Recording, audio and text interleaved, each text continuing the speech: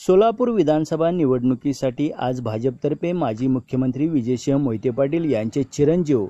तथा माजी खासदार रणजितसिंह मोहिते पाटील यांना उमेदवारी दिल्याने संपूर्ण सोलापूर जिल्ह्यात तसेच मोहिते पाटील समर्थकांमध्ये आनंदाचं वातावरण पसरलं आहे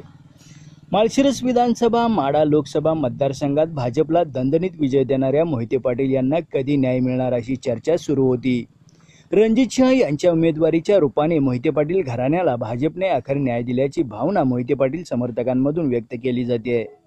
सहकार महर्षी शंकरराव मोहिते पाटील यांचे नातू आणि माजी उपमुख्यमंत्री विजयसिंह मोहिते पाटील यांचे चिरंजीव तथा खासदार रणजितसिंह मोहिते पाटील यांच्या निवडणुकीच्या पूर्वी राष्ट्रवादी काँग्रेसची साथ सोडून मोहिते पाटील परिवाराला भाजपचं साथ देण्याचे आवाहन सोलापूर विधानसभा निवडणुकीसाठी आज भाजपतर्फे माजी मुख्यमंत्री विजयसिंह मोहिते पाटील यांचे चिरंजीव तथा माजी खासदार रणजितसिंह मोहिते पाटील यांना उमेदवारी दिल्याने संपूर्ण सोलापूर जिल्ह्यात तसेच मोहिते पाटील समर्थकांमध्ये आनंदाचं वातावरण पसरलं आहे माळशिरस विधानसभा माडा लोकसभा मतदारसंघात भाजपला दणदणीत विजय देणाऱ्या मोहिते पाटील यांना कधी न्याय मिळणार अशी चर्चा सुरू होती.